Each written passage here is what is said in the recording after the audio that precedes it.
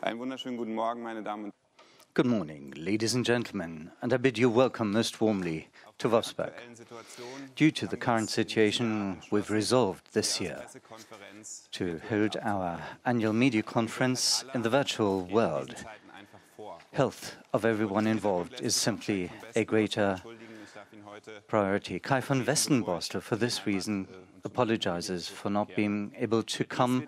I will stand in for him before going back to my family. Mr. Diess will first give you an overview of the past financial year, and then Mr. Witter will drill down into some detail and give you the uh, gist of things. And then Mr. Diess will come back and uh, round things off. After the speeches, you can ask your phone, your question by phone the whole board will be there to answer your question.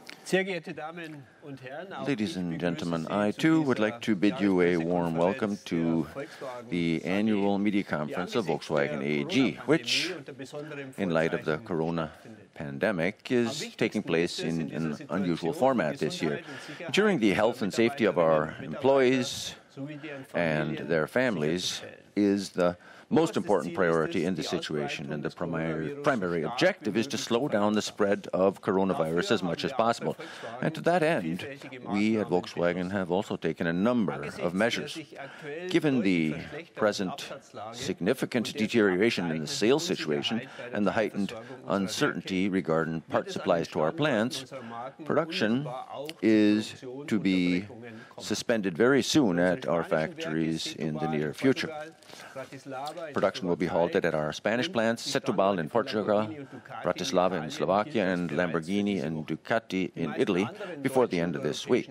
Most of our other German and European plants will begin preparing to suspend production as uh, probably in the next two weeks.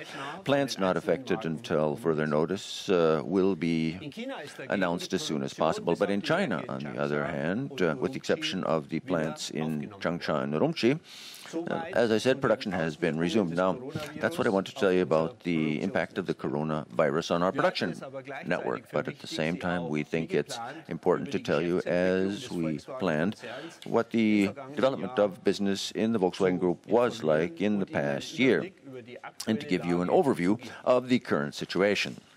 2019 was a very successful year for the Volkswagen Group. In 2019, we turned in a strong operating performance and laid some vital groundwork. The global automotive market contracted by 4%, which was the first time since the economic crisis in, in 2010, and it shrank to less than 80 million units. Volkswagen Group, however, was able to substantially increase its sales revenue and increase its market share. Volkswagen generated an unprecedented level of earnings and Volkswagen has uh, never invested as much in the future as it is doing now. All 670,000 employees of our company can be proud of what we have achieved. So thank you very much for their great commitment and the exceptional efforts and dedication they have shown for our company.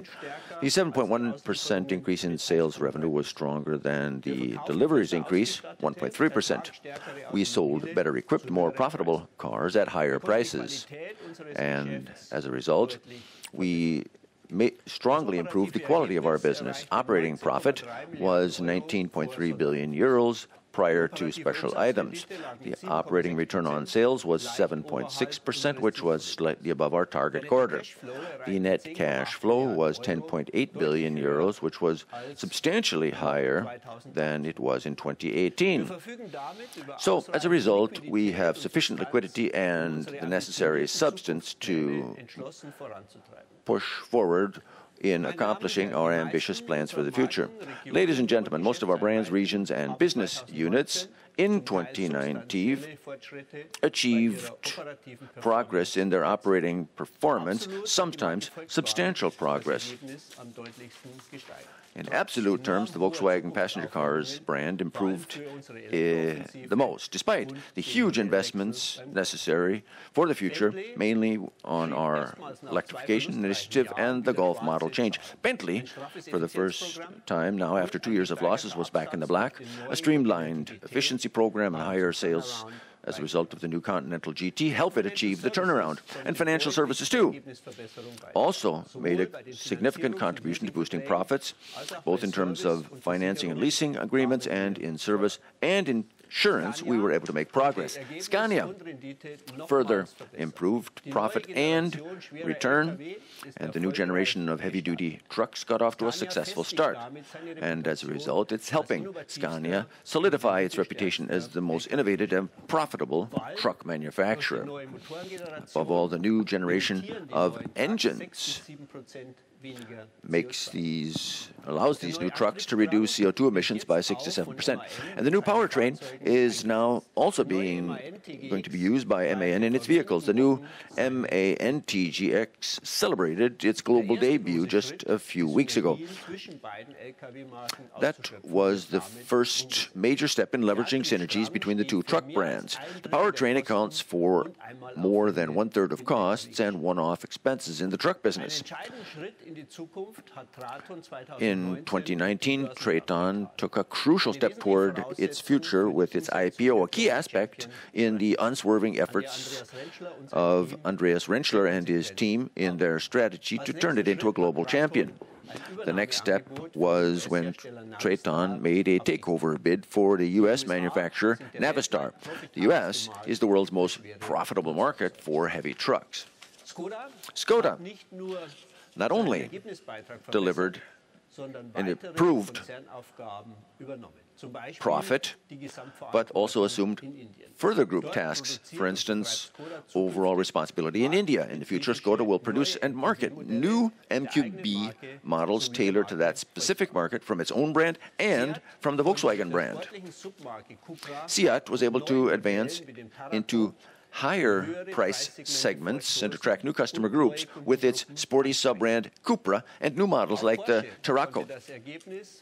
Porsche, too, further boosted profits and again posted the highest return at over 16%. With a new Taycan, Porsche demonstrates the huge performance potential in electrification. It goes from 0 to 100 kilometers an hour in 2.8 seconds, and the vehicle is thus making a big splash with customers. More than 15,000 customers have already signed a purchase contract. Audi has held its own well in a particularly challenging situation. The new Audi e-tron was ruled out successfully. Audi has agreed and launched Audi.Zukunft, an efficiency program that will significantly boost its competitiveness. We will complete the new lineup on the Audi Board of Management under the leadership of Markus Duesmann in the coming months. I would now like to take this opportunity to again thank Bram Schott for his commitment and efforts in turbulent times. The Audi Zukunft program is one of his great accomplishments. He steered Audi in a professional and commanding fashion before handing over to Markus Duesmann. Ladies and gentlemen, in all regions we are working intensively to revamp and revise our model range. We can see the success of this in South America with the new models based on our MQB platform. Models such as the Polo, the compact sedan Virtus, and the T-Cross are winning back market share there. In the autumn in South America, following its comprehensive restructuring and program and high upfront expenditures, Volkswagen was back in the black again. Further emotional models based on the MQB, such as the Nivus, are to follow in 2020 and 21 and will generate additional growth. We grew sales revenues in North America by 15%, and Scott Keogh and his team aim to break even this year. In particular, the Volkswagen Atlas and the Volkswagen Tiguan Allspace meet the tastes of our American customers. Half of our U.S. customers at the Volkswagen brand are already opting for an SUV. Two more SUVs will follow in 2020 and 21, including the Atlas Cross Sport. Preparations for the ID4, our first all-electric SUV, are in full swing. One of the plants it will be made at, starting in 2022, is Chattanooga in the U.S. In addition, a battery production facility is also due to be located there. Last year, the Electrify America fast charging network made significant progress. It now has a total of more than 400 charging stations, meaning we're already number two behind Tesla and are therefore well prepared for our electrification initiative in the US. Like in India, Skoda has assumed overall responsibility for the Russia region. We've been profitable since 2018 in Russia, which experience shows is a volatile market. Both VW and Skoda are gaining market share there. Two new entry-level models and further SUVs from the two brands are in the pipeline.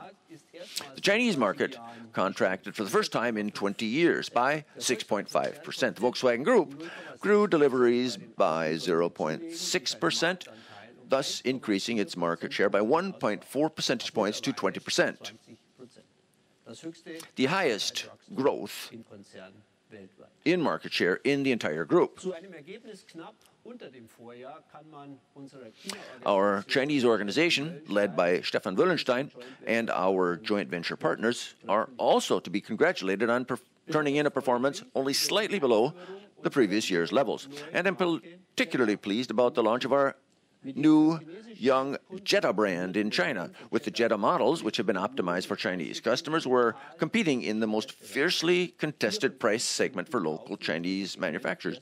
The first ever car for four out of five customers is in this segment. We were able to become competitive thanks to intensive work to cut costs, lower complexity, and to uh, come up with new sales concepts. And in short, the launch was perfect. Ladies and gentlemen, strong brands, outstanding products, and a powerful global sales organization are the bedrock of our business. The success that we saw once again in 2019 depends to a crucial extent on the attractiveness and quality of our product portfolio. We intend to stick to that strategy with our enhanced second generation MQB platform. The new product range will be inaugurated by the Mark 8 Golf. The new Golf has won over the international and German auto press and ushers in the next round for our MQB.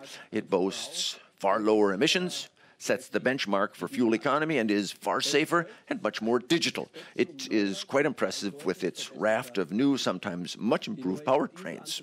The latest diesel engines, new spark ignition engines with different power outputs, a CNG model, mild hybridization, two plug in hybrid models, and a new GTI with three different power output levels. And in 2020, the important sister models of the Golf will follow the new Seat Leon and the Cupra Leon, the fourth generation of the Skoda Octavia as a sedan or saloon, and as a station wagon or estate. And in the premium league, the new Audi A3, initially as a sportback and later as a sedan. Key vehicles for each brand, highly attractive and well differentiated. Audi is working to reinvigorate its brand promise, Vorsprung durch Technik. Successful models in 2019 were in particular the Q2 and Q3 compact SUVs, the Audi Q8 and the RS6, the most powerful variant of the A6. One Audi model of great importance for the entire group is the e-tron. The Audi e-tron proves that we have e models that suit customers' taste in the premium segment. Since the end of 2018, we've sold some 32,000 of them. In Germany and Norway, which are currently the largest markets for e vehicles, the e Tron was already the best selling electric car in the premium segment, ahead of Tesla at the beginning of 2020. And Porsche has launched the sportiest e-car on the market, the new Porsche Taycan. The future of the car, ladies and gentlemen, is electric. We're introducing e-mobility starting from the premium segment. That's the most economical path.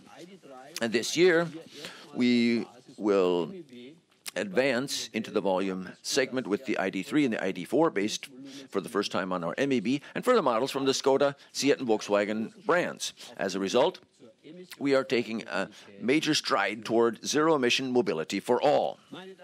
Ladies and gentlemen, we are preparing for the challenges in the industry with our Together 2025 Plus strategy and profit improvement programs at our brands.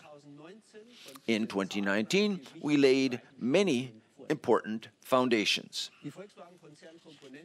The Volkswagen Group Components Division has been an independent business unit since January 2019. With sales revenues of some 35 billion euros and some 75,000 employees, the Volkswagen Components Division is one of the world's largest component suppliers. It is a division undergoing transformation. In no other area is the group's radical change greater. The transformation from the combustion engine to electric drive is taking place here in particular. As a result, key future tasks are now based at large German component production sites.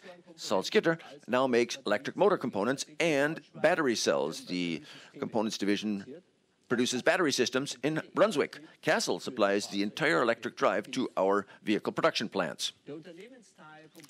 The components division of the group will also be developing battery cells itself in the future in cooperation with the Swedish company Northvolt, and this ensures that we can set the pace of technological development ourselves. The Group Components division is also tapping into new fields of business, such as producing and selling mobile charging stations and buffer storage systems. It also takes care of repurposing the battery after it has been used in the car and ultimately the entire life cycle of valuable battery raw materials. Recycling, of course, is also part of our end-to-end responsibility for the battery. We do not want to give away control of the battery and raw materials over its entire life cycle. A pilot recycling plant will be created at the Components Division location this year in Salzgitter. In addition, the Components Division is working unswervingly to optimize its product portfolio by dispensing with uncompetitive products. Volkswagen Commercial Vehicles has taken a major strategic step by establishing its cooperation with Ford. The successor to the Amarok will be one of the first fruits of this collaboration. Furthermore, we've made the decision to integrate the Center of Excellence for Autonomous Driving, led by Alexander Hitzinger, with light commercial vehicles. Autonomous and partially autonomous mobility solutions for transporting people and goods will be created on the basis of the ID Buzz. The stake we plan to take in Argo AI, a transaction we expect to close in the first half of 2020, will ensure we can leverage synergies in this very resource-intensive field of development in the race for the first autonomous vehicle fleets. Ladies and gentlemen, because we aim to increase the entire group's authority, agility, and flexibility, we intend to simplify structures and complexity at many places throughout the company. And we are doing this so that we can focus fully on the current process of transformation in the automotive industry and in commercial vehicles. We are uncompromising in our goal to seek new owners for parts of the company that are not among our core competencies. That makes sense for Volkswagen, and it's better for the strategic further development of these units, and at the end of the day, also for the security and viability of the jobs there in the future. And that's why we intend to sell our majority stake in RENK. We expect the transaction to be closed in the second half of 2020. And We continue to look for a meaningful industrial solution for MAN Energy Solutions too. We also made decisions to improve our governance and reduce administration costs in 2019. Ladies and gentlemen, in taking stock of 2019, we should also include how we continue to deal with the aftermath of the diesel crisis. We were able to reach settlements in the proceedings in Canada, Chile, and Australia, among other countries. And in Germany too, we also recently were able to reach a settlement with the German Federation of Consumer Organizations as part of the model declaratory action it filed, and also thus reduce the number of individual lawsuits for the German courts to handle. And furthermore, we were able to terminate the administrative fine proceedings against Porsche AG conducted by the Stuttgart Prosecutor's Office by accepting administrative fine orders. More than 99% of the diesel vehicles with Type EA 189 engines in Germany have already undergone the relevant technical upgrades. We've upgraded more than 7.5 million vehicles worldwide. In addition, Volkswagen has taken, undertaken to offer voluntary software updates for another some 1.5 million diesel vehicles in Germany so as to reduce NOx emissions by an average of 20 to 30 percent. It will soon be three years since the U.S. Monitor Larry Thompson and his team began helping us to address the repercussions of the diesel crisis. And that team now numbers almost 200 members. And thanks to their work, we've entrenched truly far reaching changes in our structures and processes. They extend from the anonymous whistleblower system and strengthening of independent auditing to reclaiming compensation from management in the case of compliance violations. Thanks to the monitorship, Volkswagen has become a better, more transparent, and more responsible company. And in the future, it will not slacken its efforts to drive the improvements it has initiated in relation to its processes, culture, and responsibility. Ladies and gentlemen, 2019 was a successful year for Volkswagen, a year in which we set the course in many important strategic areas. Thank you. Thank you, Mr. Diess, for your introduction and explanations. Now I'd like to ask our CFO, Frank Witter, to present the business trends 2019 in some detail he will explain what has happened and give an outlook on the business trends for 2020 in as far as that is possible. Mr. Witter. Good morning, ladies and gentlemen. I'm very pleased to see you back at our annual media conference and welcome you. As you know, we've announced the key data for the 2019 annual financial statements at the end of February. Today, we've also now published the annual report I will now explain our business figures in detail. Volkswagen, during this fiscal 2019, has closed with sound figures and stayed the course, despite an environment which was a challenging one. Let me just mention the trade policy tensions, the intense competition which we felt in all our core markets, the cooling of the Chinese market, which is our second home market now, that has kept us on our toes, and uh, the fundamental technological change within the entire sector and industry. And so it is a good thing that the group sales revenue at 252.6 billion euros were up 7.1 over the previous year and even above our expectations. Looking at the key drivers of this development of sales revenues. On the hard side, the positive effects here we have for the entire year coming in the mix, the type mix, which made a positive contribution. We also sold higher unit volumes, and there was a very strong business growth in the financial services division. Negative impacts were the exchange rates, particularly in Latin America and Turkey. Positive effects from the US dollar could not overcompensate these negative uh, detrimental effects. We had a 13% improvement of the result to 19.3, 2.2 billion higher than the pre, uh, year financial 2018. Before special items, the operating return on sales is 7.6 which is even above the 6.5 to 7.5% corridor which we'd forecast despite the difficult environment.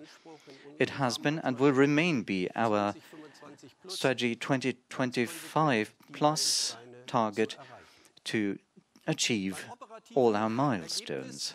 When it comes to operating profit as a development from 2018 to 2019, you see on the left-hand side the passenger car division.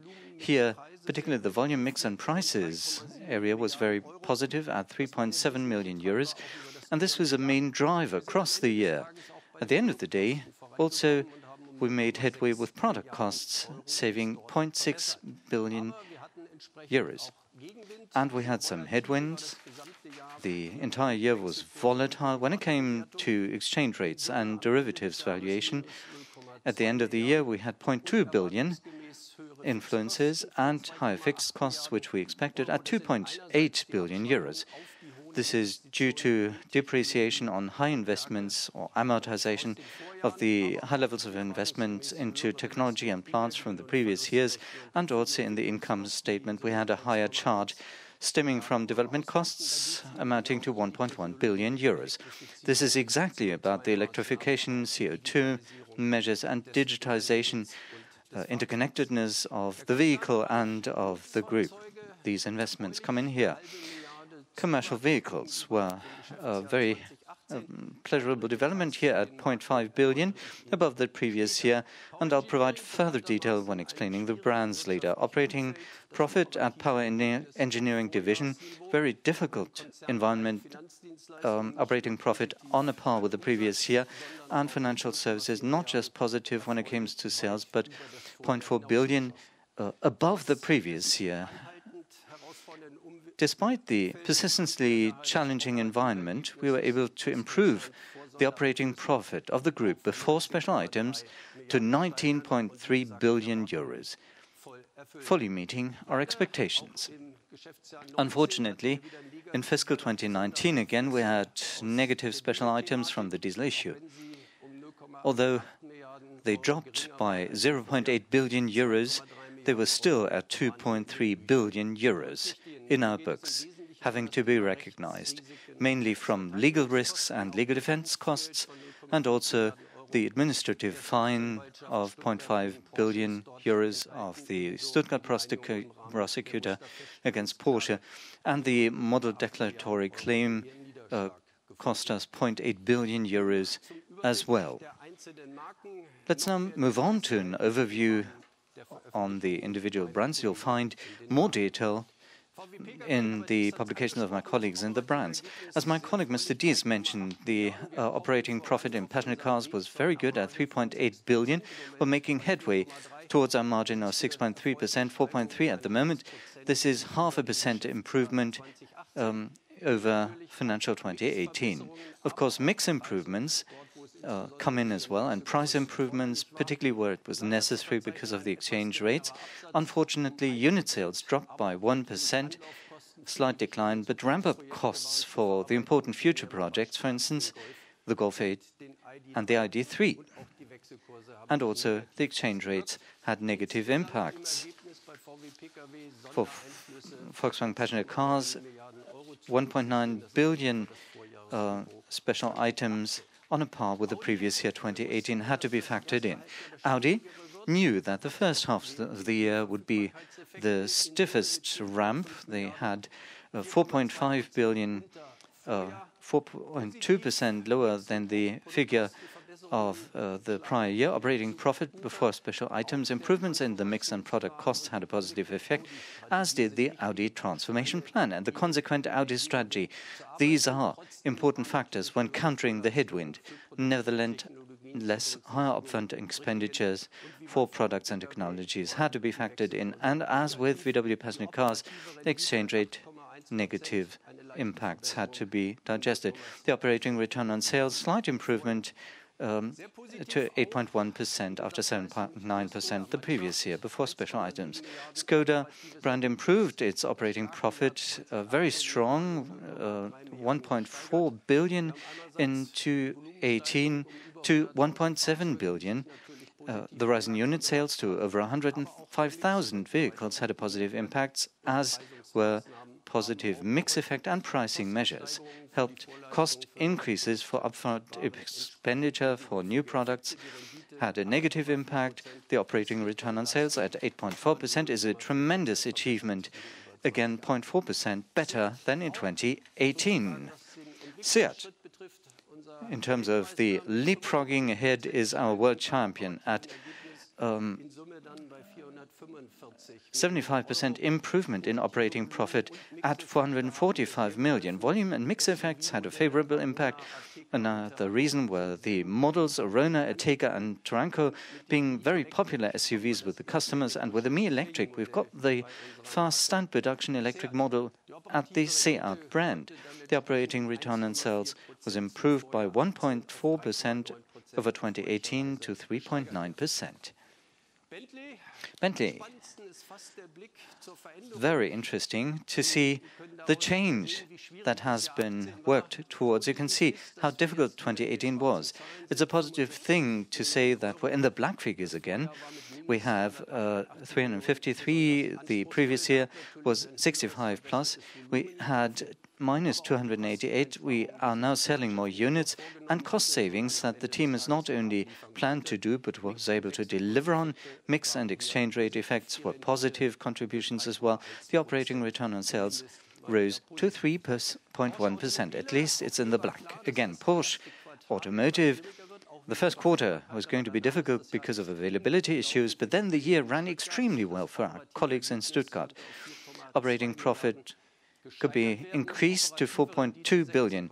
Operating return on invest at 16.2%, slightly lower than the previous year, but we're quite pleased with that. Volume and mix were the main drivers. Optimized product costs are an achievement of the Stuttgart team. Exchange rate effects and cost increases, particularly for upfront expenditure, had a negative impact. The diesel issue uh, negative special items were half a billion. The previous year, we recorded none. On to commercial vehicles. A very strong first half of the year. The second half was um, marred by availability issues because in commercial vehicles, WLTP hit the manufacturer uh, half a year later than in passenger cars, 780 million operating profit after a strong 2018 uh, at 780. We now have 510 million. However, the improved product costs uh, could not uh, offset the higher development costs, and WLT is something I mentioned already, but we still have an operating profit of 4.4%. Scania, the generation, uh, the, we've moved on to the new truck, and the result is 24.8%, an increase to 1.5 billion euros, higher vehicle unit sales, and also a very important and strong genuine parts and services business have uh, contributed, as did improved mix and exchange rate effects, which were tailwind, so 10.8%. That's a strong margin after the 9.3% in the previous financial year 2018. MAN commercial vehicles also positive. We've made headway at 402 million operating profit after 332 million in 2018 financial year. Higher unit sales have helped us, and the recovery of the business in Brazil after the long crisis have recovered. And despite of this, we had needed to factor in that the previous year had uh, a burden from the restructuring in India. So we have 3.2 uh, percent operating return on sales. That's not entirely satisfactory, and we'll have to discuss further measures with our partner on how to set business at MAN to an even more robust footing.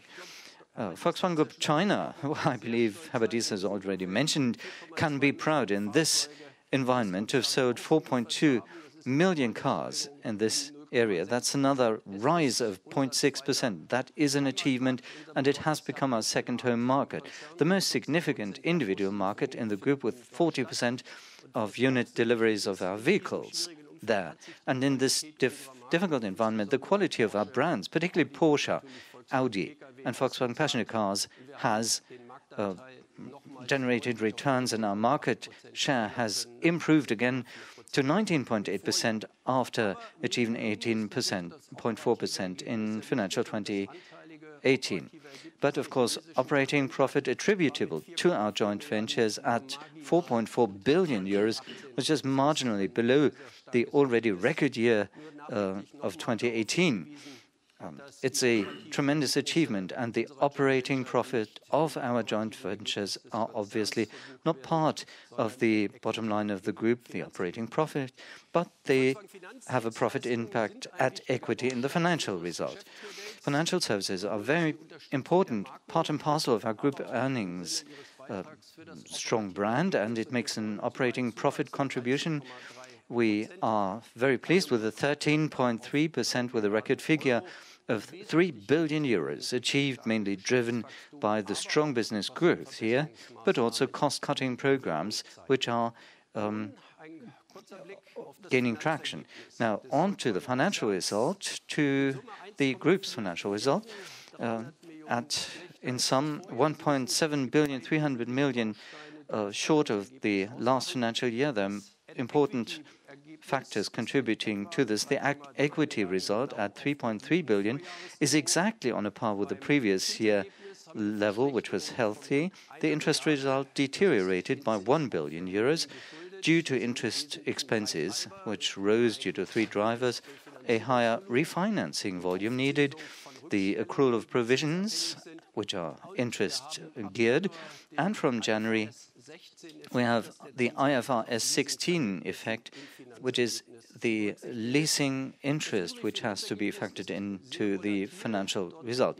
The other financial result is volatile. There are valuation effects uh, which need to be factored in, and the securities and fund result is very positive, contributing good figures. Let me summarize the highlights of the annual financial statements. The operating profit of financial 2019 at 17 billion after, even after the already mentioned special items, is at a very high level. As explained, the financial result totals 1.4 billion, pre-tax profit at 18.4 billion, um, was, point, uh, was higher than the 2.7 billion of the previous year. Earnings before tax, the tax rate was 23.6 compared to 22.3% in the previous year. Earnings after tax increased to around about 14 billion euros after the 12.2 billion in financial 2018. If you need any details or figures on uh, those figures, let me refer you to our investor relations internet website. You know from the previous years that with the return on investment, we've created a value based management concept. It is the operating result after tax in relation to average invested capital. You know that the Chinese joint venture are factored in on a prorated basis. The ROI in 29 rose. First of all, we had invested capital, which increased significantly. We had the IFRS 16 effect, uh, contributing around about 5.5 billion, and additions from capex and capitalized development costs had to be factored in. Higher invested capital. The higher operating profit overcompensated that, so to speak, so that the ROI after 11.2%, 11% in 2018 was improved in financial 2019 to 11.2%, which puts us on a course to achieve our targets of our strategy 2025 plus. Now on to the financial situation of the automotive division, internally and externally both. One of the, if not most important key indicator is net cash flow which are sales revenue minus the payouts and uh, tie up of capital due to increasing investments and inventories. At 10.8 billion euros, net cash flow, as forecast, was considerably higher than the previous year. The higher earnings, of course, lower cash outflows from the diesel issue, and the lower rise of inventories have created the biggest positive impacts. Looking at net cash flow, usually adjusted for the diesel payments and M&A activities, mergers and acquisition, the net cash flow of the automotive division was at a proud 13.5 billion euros. Net liquidity, this is hardly a surprise of the automotive division, is materially affected by the net cash flow. In addition to this, there were further factors which should be mentioned at this juncture. First of all, the inflow of cash from the IPO, the initial public offering of TRATON, created a positive contribution of 1.4 billion euros. The dividend payment of 2.4 billion euros to the shareholders of Volkswagen AG rose by 0.5 billion year on year of the previous financial year, That's a negative effect. And also uh, settlement payments and the purchase of MAN shares offered for sale amounting to 1.1 billion euros had a negative impact. And of course, this is also added. It's the effect from IFRS 16 provided 5.4 billion euros in uh, negative impact on the recognition of net liquidity. This is an, not uh, an effect with a bottom line impact, it's only a recognition thing and an accounting thing. Um, at 21.3 billion euros, net liquidity from the automotive division remains very sound and is again 1.9 billion euros above the level recorded at the uh, beginning of that year.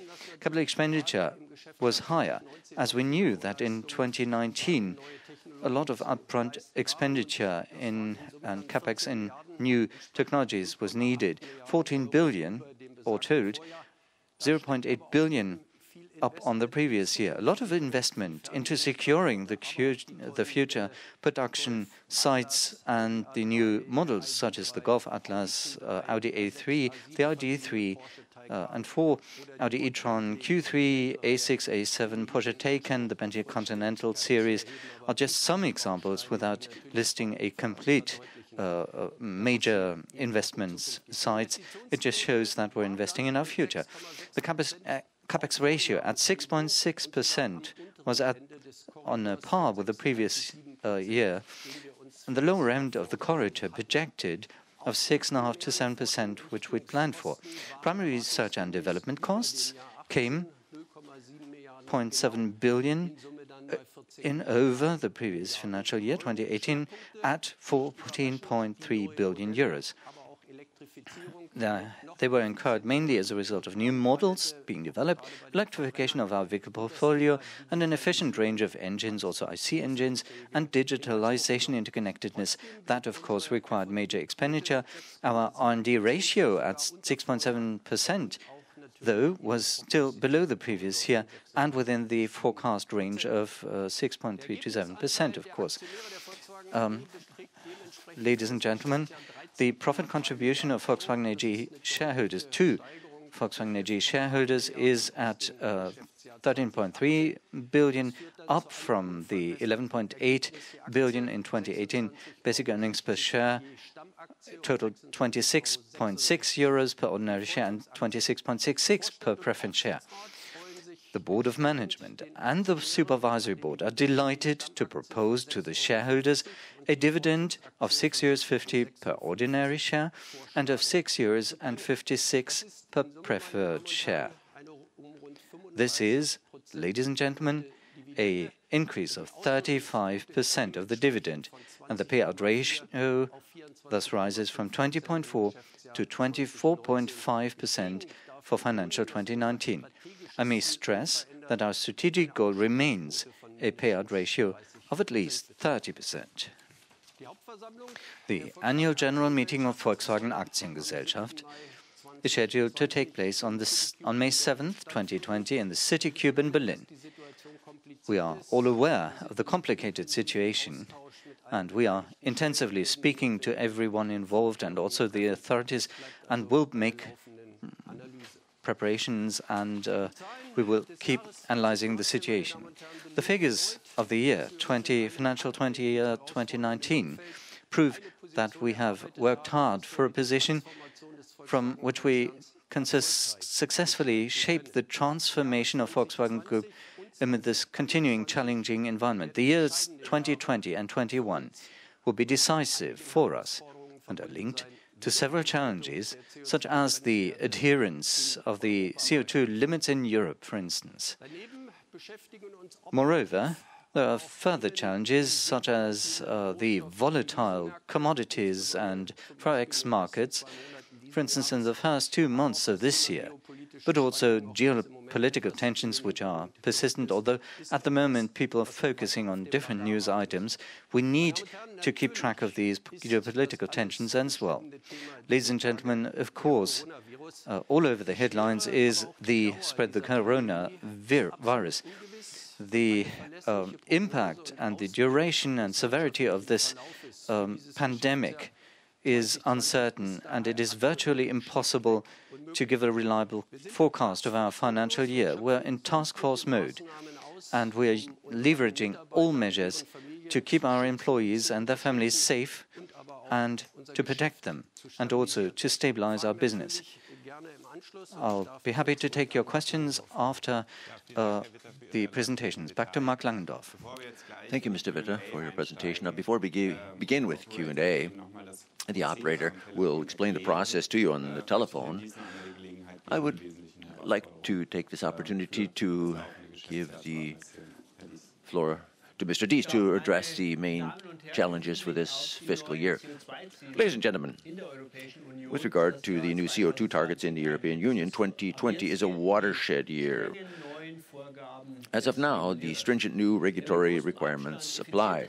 By far the most efficient way to meet fleet targets is through profitable electric vehicles and in the premium segment in some markets, also in with plug-in hybrids. With our product portfolio, we are well positioned to tackle 2020 and 2021. All in all, we will have 15 electric models and 18 new plug-in hybrids in the marketplace. The electrification of our fleet is thus now underway. Sales of these models has already gathered significant momentum in the past few weeks. The order backlog for some of these vehicles already extends beyond the middle of the year. Our efforts are focused on the supply of batteries and are demanding new product launches.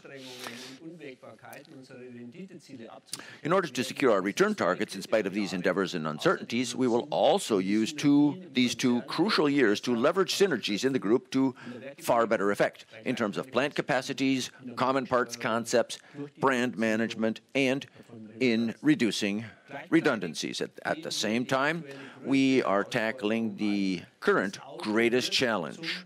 The car is becoming a complex internet device, generating data and using data.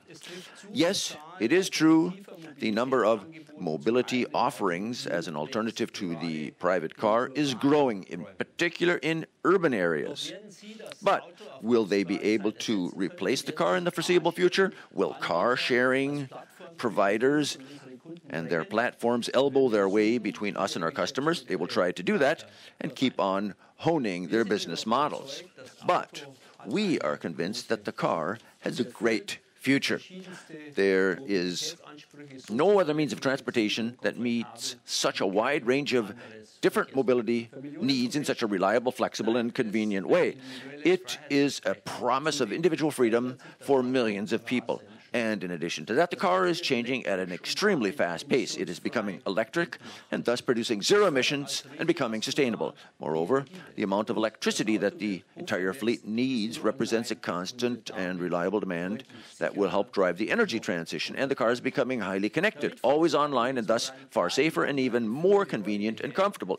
To ensure that Volkswagen continues to play a leading part in this radical transformation, we must create the conditions so that the automobile can be run as an internet device with constant software updates and a growing number of new services. Our fleet will become both a generator and user of huge quantities of data, helping ensure that vehicles keep on learning to drive better and better. To operate successfully in this area, too, Volkswagen needs to substantially strengthen its software expertise.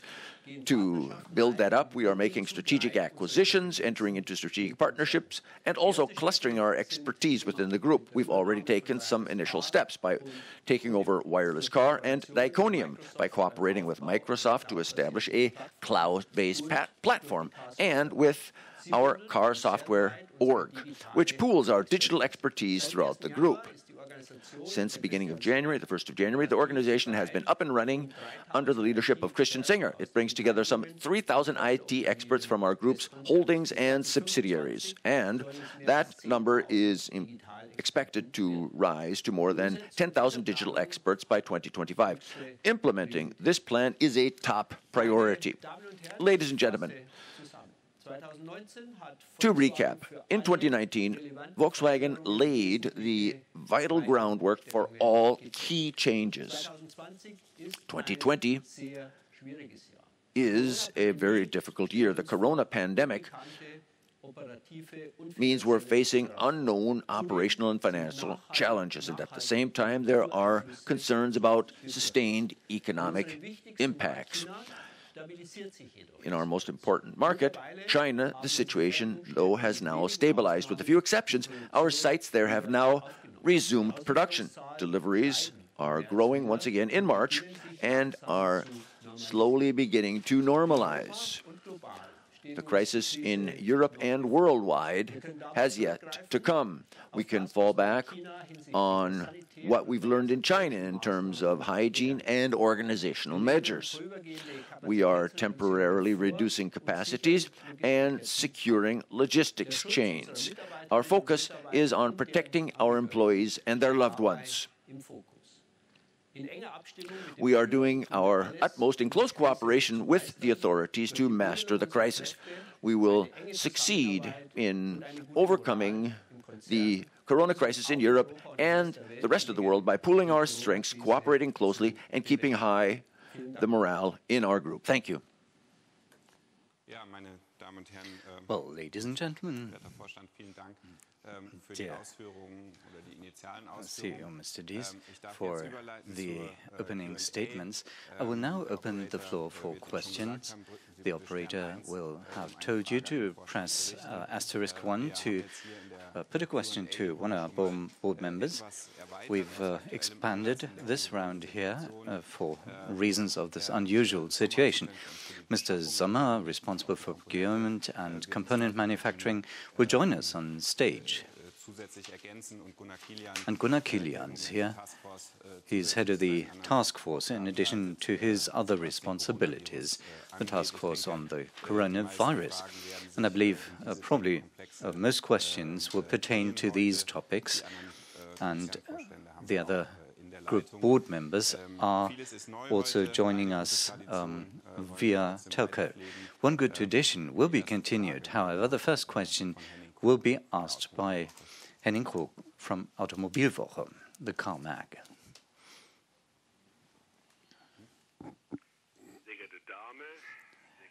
Ladies and gentlemen of the VW uh, Group board, thank you for not Uh, organizing this as a FaceTime meeting. Corona concerns us all. VW, as the world market leaders, is uh, taking uh, precautions rightfully. My question is, Mr. Diess, corona will generate billions of burdens for the mobility industries. Do you consider to Uh, stop paying the potential CO2 fines to the EU? Mr. Blume, if you're there, and Mr. Brandstätter, when ramping up ID production, every week and every day counts. Also in R&D, could corona cause temporary shutdowns? And will VW hold on to its statement that you will launch this uh, BEV in summer before September? Uh, when you were speaking, Mr. Uh, Diess, um, I was joining the telco when you were speaking. Will the AGM be a FaceTime event, a physical event? When will you decide whether to uh, organize the AGM on the internet exclusively? And the last question goes to Mr. Kilian. Do you expect that after the restart of the production of the VW plants, there'll be bottlenecks in part supplies because uh, the suppliers can't provide? And will there be short work in the VW plants? And can you exclude that VW will file for state subsidy to help its employees? Mr. Diess, if you would care to start. Well, I'll start with the questions uh, directed to me. Yes, I've heard that in this industry there, there is this discussion. We are prepared for that, and we are getting close to achieving our fleet targets. The electric vehicles are selling well. The order book is good for both BEVs and PHEVs. Of course, it's very difficult to foresee and to forecast how the mix will change in such a difficult year such as 2020 and the way customers decide. But we do not expect that we will have to diverge from our fleet targets. Temporary shutdowns, of course, there will be some. However, we'll focus on the outstanding R&D uh, development work for the ID. This is fairly uh, independent of what happens uh, near the production plants, and so we continue to believe in the launch of the ID3 in summer. On the AGM, Mr. Witter, Yes, I'll be happy to take that question, says Mr. Witter. Good morning, Mr. Krug. We're planning the AGM for the 7th of May. The stock corporation law obligates us to have a FaceTime meeting on May 7th. The preference, of course, is online, to go online. We are considering the situation and we are considering the information need to be satisfied for as many people as possible using digital channels. However, uh, we must organize a, a, FaceTime meeting, a physical meeting.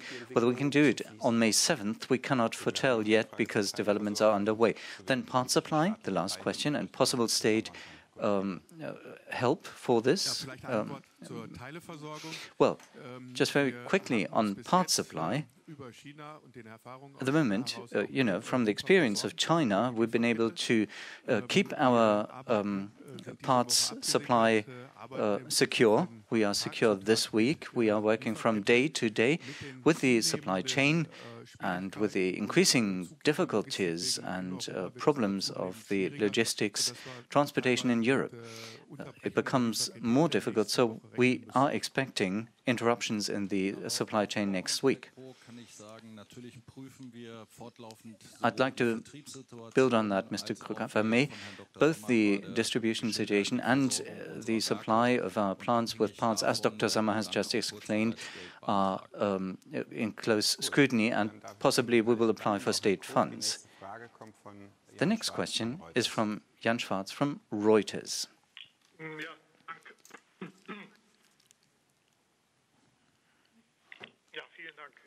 Well, thank you very much. A lot of questions have been asked, answers given. Your forecast is something I'd like to hear whether you uh, officially not standing by it because it still is in the documentation.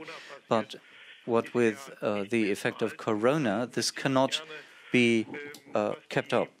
So, the production interruptions, considering these, you said most plants in Europe and Germany of VW, does that concern the other brands as well? Are there exceptions to this? I'd like to know what about the Turkey plant that surely is on the back burner? I'd like to get a uh, assessment here. And last point, with energy solutions, you said you're looking for an industrial solution. Exceeding this, are there divisions or areas which you are focusing on now more to improve your financial clout? Well, perhaps I can begin with the outlook for 2020. Yes, Mr. Schwartz, that's correct what you said. Currently, a reliable forecast isn't possible because, above all, no one can estimate how severe and how long this uh, it, how severe it'll be and how long the corona situation will last. And as a result, it's quite obvious that right now we're in the task force mode to secure our facilities, uh, taking care of um, uh, employees, stabilizing business processes, and liquidity is important too. But another point is what Dr. Diess mentioned the situation in China. There, there are indications that the situation is improving. We don't know how long that will last, but it's important that all of these these measures that are being taken, some of them are quite drastic, must have the necessary effect, and then that we can look for some positive signals whenever they may be. And therefore, for 2020, well, we could say we don't want to completely write the year off, even though right now it's not at all foreseeable as to whether the forecast that we made at the end of February can uh, be achieved, in particular with regard to the assumptions regarding corona. We want to get through the year as best as possible. Our priority is, of course, our employees, their loved ones, families, liquidity, and business processes. Yes, the second question was the Turkey plant, says Mr. Diess. The need for additional European capacities still does exist. The Passat has been taken out of Emden. And with regard to Turkey, we have another fallback option in Eastern Europe. As a result of the shift of uh, Euro 7 requirements to a European level, we have a little more leeway with this decision, but in the next few months, we will make a decision on that new site. And then there was a question about additional corrections with regard to our portfolio. In principle, I can say that the strategic work in the group is continuing, even in this critical environment. Of course, eh, we're going to be reassessing the time scale, and then liquidity and cash position in the group will be taken into account too. And there was a question about the individual plants and brands. Gunnar Kilian? Well, Herbert Diess said when he began that basically since the 2nd of January, let me give this general explanation. We've been working in the task force MOSE, and we are, of course, closely working together with our colleagues in China on corona and the measures agreed on for that. And now, how we proceed from here with our different plants and in the brands is something that's being handled by the group task force. And as Herbert Diess said, during the course of the day, each of the brands will provide, be providing information on how, step by step, they might be stopping production and planning to do so. Okay, thank you. Then the next question, next group of questions, Christoph Rauwald, Bloomberg.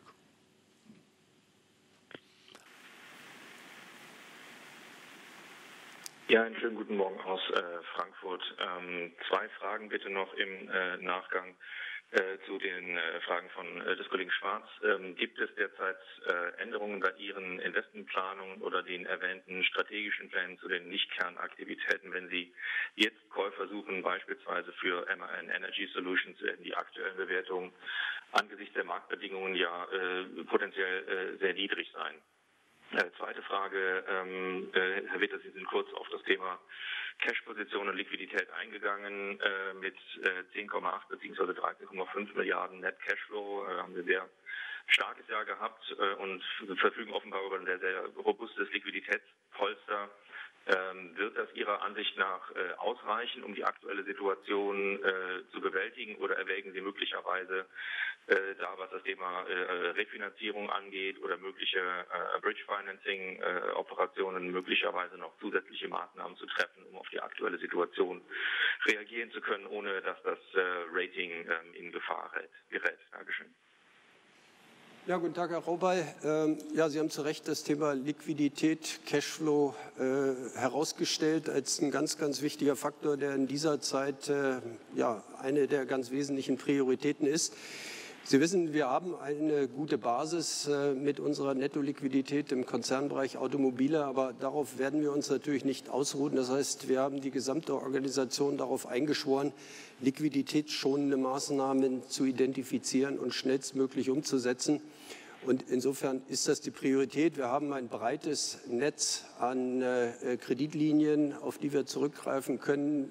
Und wir gehen davon aus, dass die Kapital uh, respond to and take advantage of. And we still believe that capital markets will still be open, even though the credit spreads currently have run out. But we believe that we have the necessary measures, and we're going to focus massively on ensuring that the outflow of liquidity is reduced to a minimum. But of course, we do have fixed costs that are substantial as well that we've got to carry.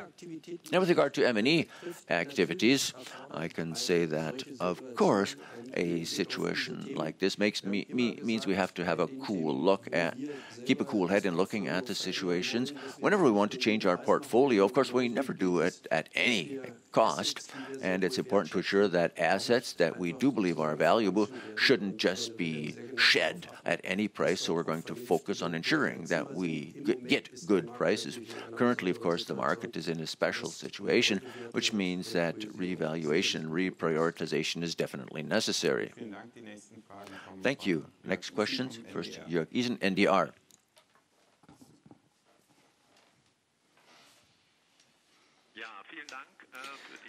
Thank you very much for the opportunity to put questions. I am still a little surprised at how quickly you want to shut down several European plants. Of course, the question arises on the possible financial risk entailed. The federal government has made it clear that they will put their weight in in favor of the uh, companies and OEMs, both the small and the uh, large ones. My question is to Mr. Diess. Do you feel that the measures of the federal government are enough to offset the losses, or would European help measures be necessary and to have to be more substantial to um, be adequate to meet the crisis. Which plants will be shut down is my second question. When will the employees informed be informed? Uh, will plants be closed today or will that begin on Friday only? Mr. Diess answers. First, I'm pleased to learn that uh, both at a European level and uh, from the German government, we have uh, heard quite clear commitments that they were ready to assist companies which were in trouble because of the corona crisis, although they have good business uh, cases which, which really work, that they would be uh, assisting them. Uh, I please bear with us that we do not have a finished plan on the table for this sort of thing. The priority is to turn off the shut down the factories to slow the spread of the virus at the right point in time, not too early and not too late either. And we're in this process in Europe.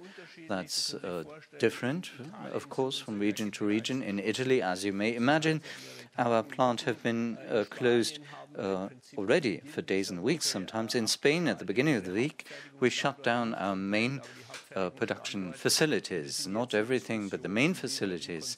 And we're in, currently on, in discussions on how we will roll this out through the group this week, and next few days, but in a well controlled manner. Also, bearing in mind the logistics changes, chains and the inventories, the plants will be slowly uh, shut down, also in conjunction with the works councillors and the different plants and sites.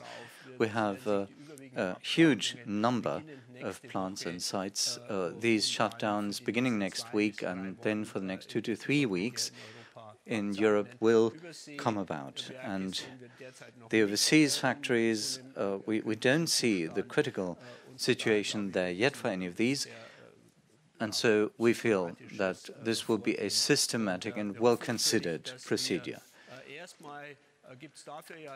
First, of course, in Germany there is regulation, yet there is um, shorter working hours compensation, and we are shutting down the plants because of the uh, contracting demand, and we will work shorter hours, and we will um, be able to bridge this with this uh, compensation for um, the uh, uh, short time work in Germany, and for Europe, this would lead too far if we were to discuss all the rules and regulations governing these situations in every country. The financial risk, from my point of view, cannot be assessed yet. That will depend on the duration of the crisis, of course, and uh, of what will happen to the economy after the crisis. Our biggest exposure, and this was mentioned time and again, is China, of course. There we have uh, the largest market share. We are the biggest car maker by far in China. There we were able, in coordination with the companies and the government, we were able to restart the economy. Sales are starting again, the showrooms are open, and customers are buying cars again, which shows us that with a good crisis management and good coordination between politicians and um, companies, corporations, a even a dramatic crisis such as Corona can be managed, and we are confident that we'll be able to do that in Europe as well. Angelika Slavik from Süddeutsche has the next question.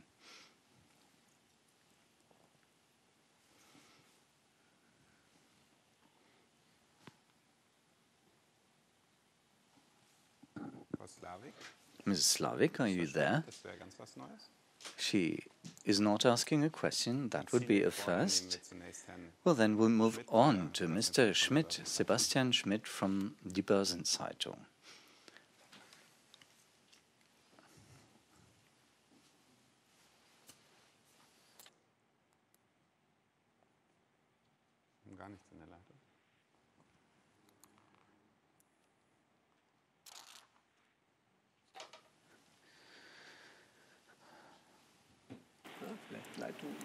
Ja, könnten wir irgendwie vielleicht jemand anders in die Leitung nehmen?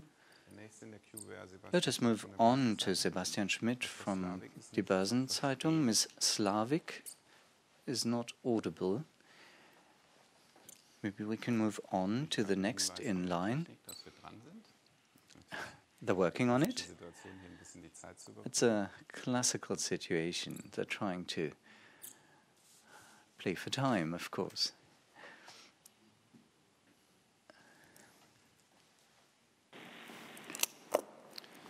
Ja, ich bitte das schon mal zu entschuldigen. Das ist auch das erste Mal, dass wir ähm, My apologies. It's the first time that we're having a virtual annual media conference. We're not sure what the reason is why we can't hear any of those asking questions.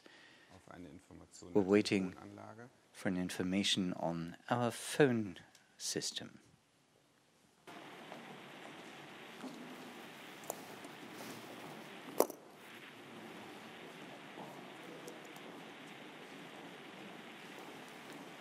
Also interessant, durch die, durch die Anzahl der Heimarbeitsplätze brauchen wir natürlich dramatisch mehr Bandbreite. Due to the number of people working from home office, we need dramatically more bandwidth, of course.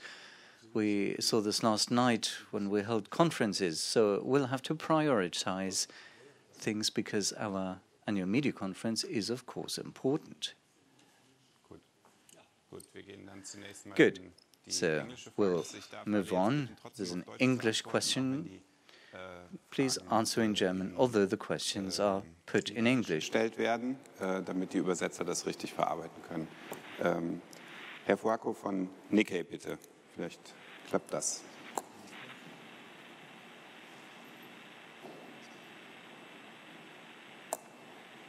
So, may I ask a question? Ah, okay, yeah. Hello, can you hear me? Yes. Hello. Yes, we can hear you.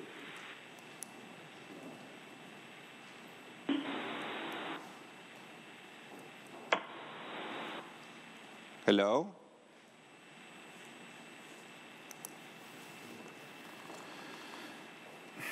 They can hear you, but you Hmm? Don't hear them. I can hear you. We can hear you. Please ask the question. Okay. They can hear you, but you cannot hear them. Okay. So, can you hear me? Yes? Yes. Hmm? Perfect, well.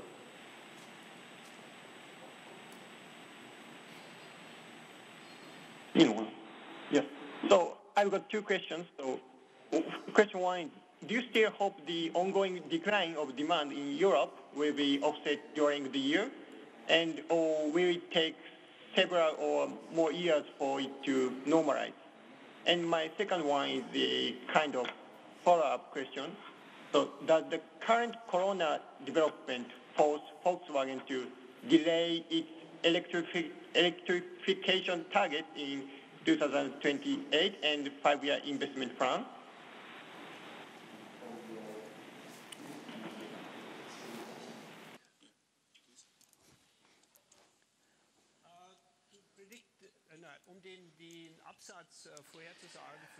To forecast unit sales for the rest of the year is surely very difficult from where we stand today. This will be a function of how quickly we can overcome the crisis, how long it uh, takes, and uh, what economic stimulus action is taken.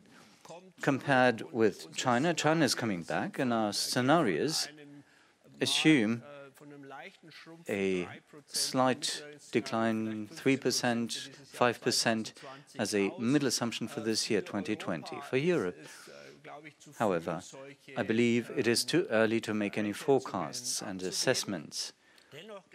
Nevertheless, I believe that when the crisis can be overcome as quickly as people did in China, then we may expect a recovery in Europe after the crisis and a recovery of the markets as well. I believe we should expect that. How long the crisis takes surely is a big um, unknown here in Europe. Volkswagen delay, we have no delays. We stand by our electrification plan and push. The ramp up of the MEB cars uh, will take place this year, and we will not need to reprioritize our investment into electrification. Thank you. The next question comes from Philippe Monnier.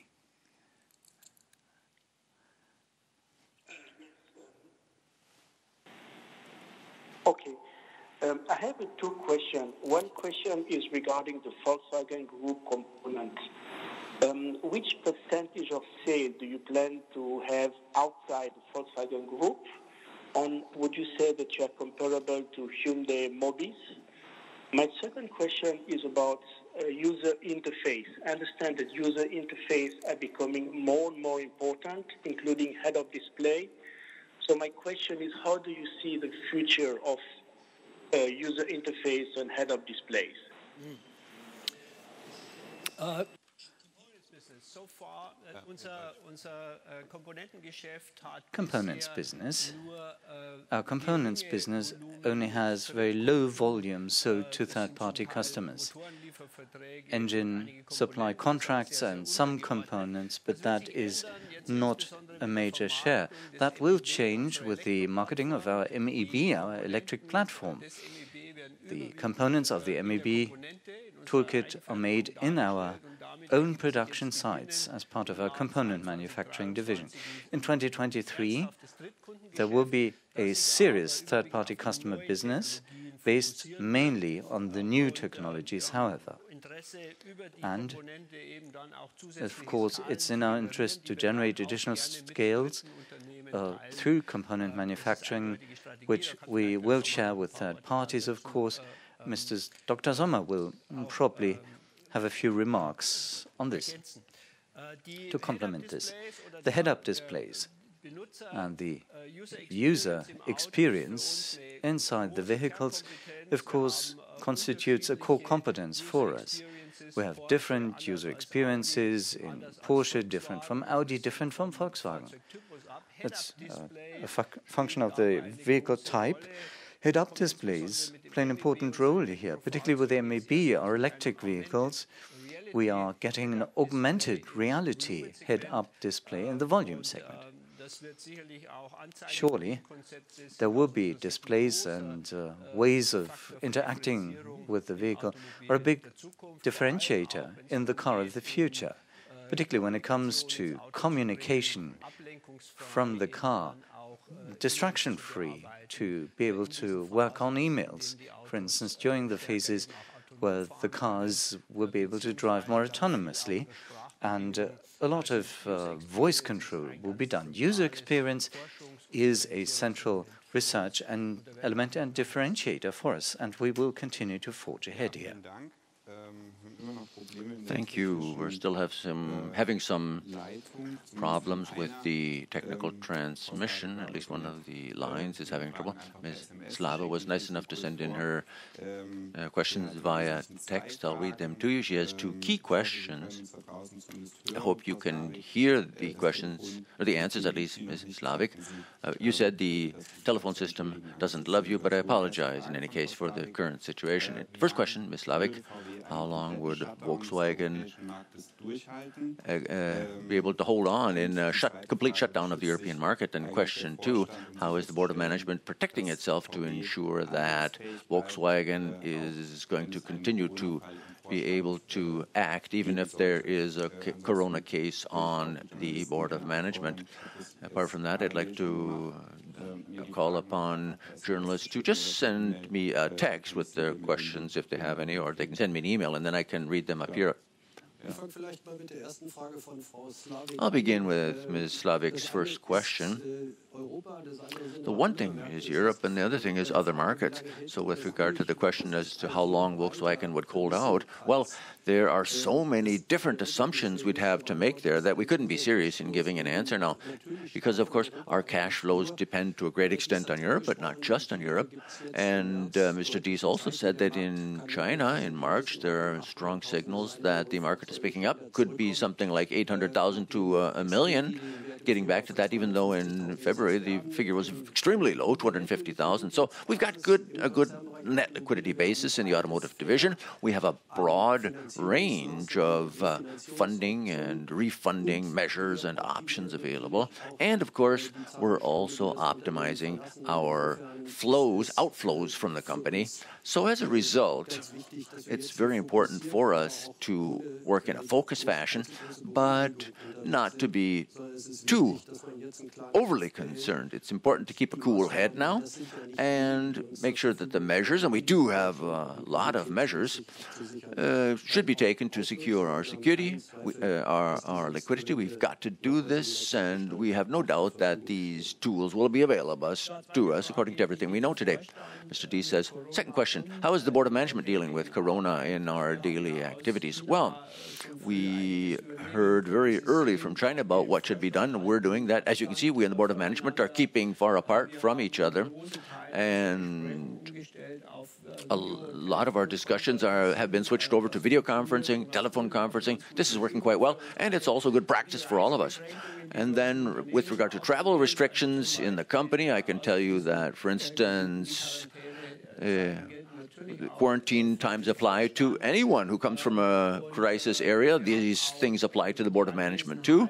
In addition to that, the presence in our offices has been substantially reduced. A lot of uh, us have changed over to home office work, and our cafeterias have now been changed over to lunch packets, and in the weeks to come. This will be done in all of our factories too. So we're basically implementing all the things we've learned in China and what our specialists, our uh, company doctors, and so on are proposing in order to make sure that the spread of the virus is as slow as possible. And I think so far we uh, are all still able to work quite well. In terms of uh, travel activities, well, I can see that it's astonishing that we realize that a lot of things, a lot of our work can still be done without having to travel. And of course, uh, our video conferencing activities are helping us take care of our work. Thank you. Next few questions. One from Edward Taylor from Reuters first.